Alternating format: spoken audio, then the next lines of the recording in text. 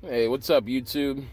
I got another product here by Mobster. This is a Shelton product. Um, it was the last one that had this wrap, this clear red cellophane on the back. So I thought maybe it was a little older. Uh, let's do a demo and find out if it's, you know, uh, how they perform. Uh, this is the 50 Mobsters. Mobster by Shelton. Shelton brand firecrackers, 50s.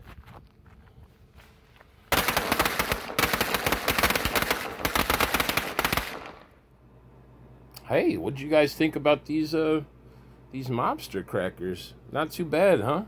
They had a nice little flash and uh, good loud pop on them. I like the pace, pretty aggressive. So if you find these, you know, definitely pick them up at your local Shelton store. Um, anyways, thanks for checking out the demo tonight, YouTube. Have a good one.